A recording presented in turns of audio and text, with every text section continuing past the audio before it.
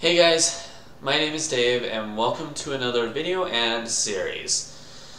So, as the title implies, we are going to be talking about in this series the four stages of education. Um, or the four pillars of education, should I say.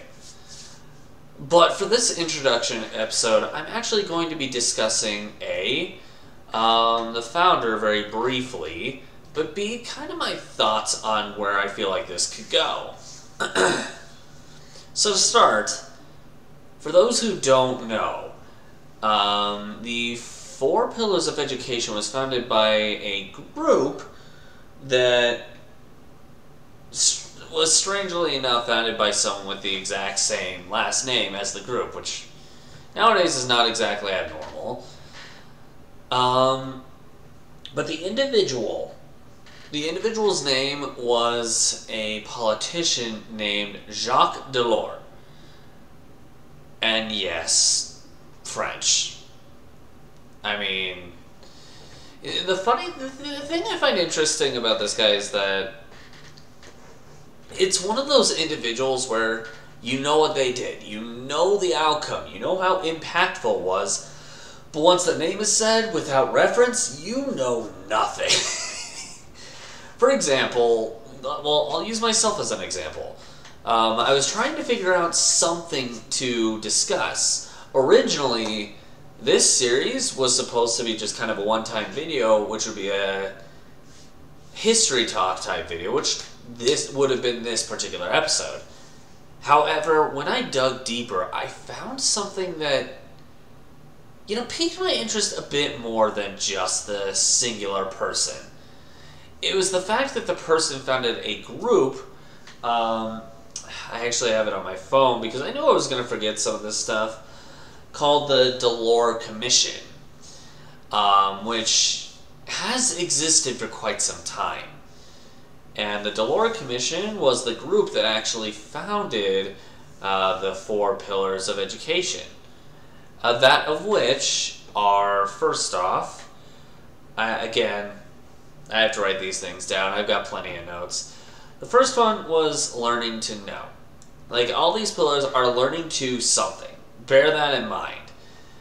Any of us who were going through elementary school and or middle school at the time of the early 2000s probably know exactly what this is. Uh, because it had just been created and was applied to many, many, many schools at the time. Now, the order of them was first, as I said, learning to know, then learning to do, learning to live, and learning to be. Now, as simple as the terms might sound, it actually is a little bit more complicated when you think about like the different details, aspects, psychology, all the circumstances that can go potentially go into each portion. I actually do remember back in, when I was, I think I was like first through third grade, I would go through school and I'd see like these big colorful pillars. Each of the four pillars would have one of each of those four words know, do, learn, and, or sorry, know, do, live, and crap. It, this is one of those things where my brain can't memorize it off the fly. So, no, it, it would literally be in the same order. No, do, live, be. No, do, live, be. You would see each of those on each pillar.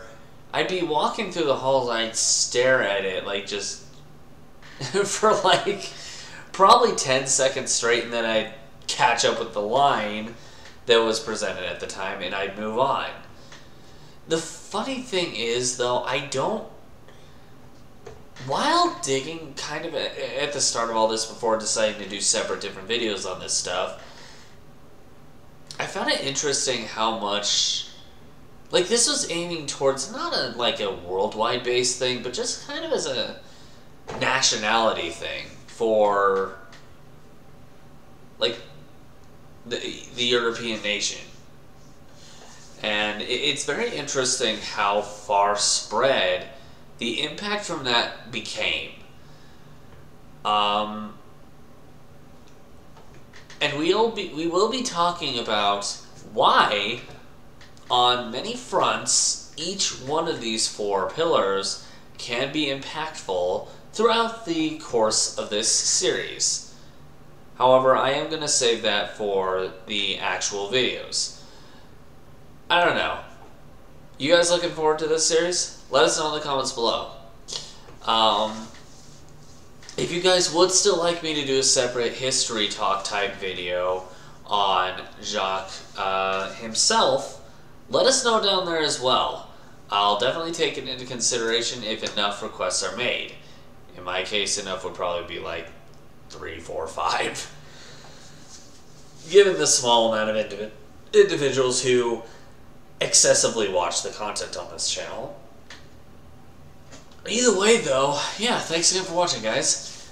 Once again, if you're looking forward to this series, give the video a like, and consider subscribing if you like these kind of series. We've got several other types of subconscious type of series, like the eight psychosocial stages of development.